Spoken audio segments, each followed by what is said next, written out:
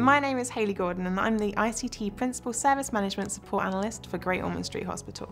Hornbill Service Manager has opened up a whole new world for us. We've been able to establish a digital workplace in so many areas, and that's affecting not only the doctor, it's affecting the patients, it's affecting the parents. We're currently going through an exciting period of change at Great Ormond Street Hospital. We are making services better for clinicians and patients and all other staff, and it has made a massive change to our staff's outlook on ICT as a whole.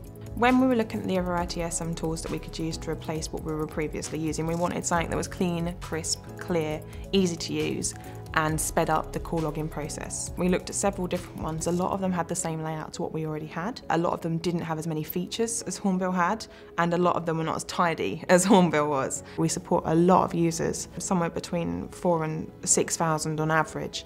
Since we went live with Hornbill, we've completely restructured the entire system, and we've had the ability to do that ourselves. Our response and resolve times have reduced immensely. One of the things that sold it to me when I first saw it was the interface. We wanted something that was clean, crisp, clear, easy to use, and sped up the call login process when you're building things into the business manager. Just an endless amount of possibilities. The fact that if someone says to me, oh, can we just have another question here, or can we have a different decision node here so we can say yes or no to something? It makes ICT a lot more out there.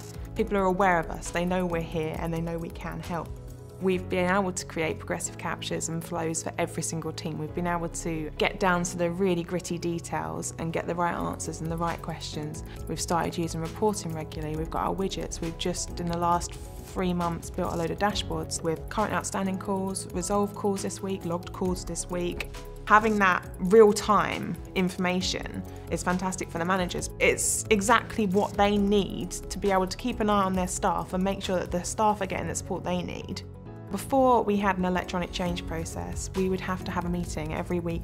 Having the ability to do it electronically has completely revolutionised the way that we do change. It saved 10, 11 people two hours each a week. Since we've had Hornbill Document Manager, we have converted all of our information in OneNote.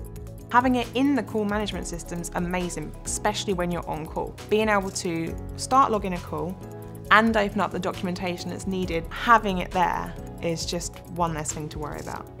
Previous tools that I've worked with, I've had to update manually. We don't have to do any of the updates, it's all done for us. They're being done in the background and knowing that they've been tested beforehand. And that's amazing because that's one thing off of my mind. Every week there's new developments going on, which is one of the things that I've always found the most amazing. You mention something and it gets done. We now have a hornbill queue that at the most is maybe two or three, and our inbox is generally under 20 a day. Service desk first time fixed rate for the last two or three months has been about 93 to 96%. Our customers get the best service they can, and our other ICT teams have more time to do what they actually need to do. We've had more and more teams interested in using the system. One of the things we want to do is be extremely customer focused this time around and make sure that they are getting the best service they can because they are looking after poorly children. We do not have the time for them to be bouncing back and forward between IT departments and that is a huge benefit to the trust.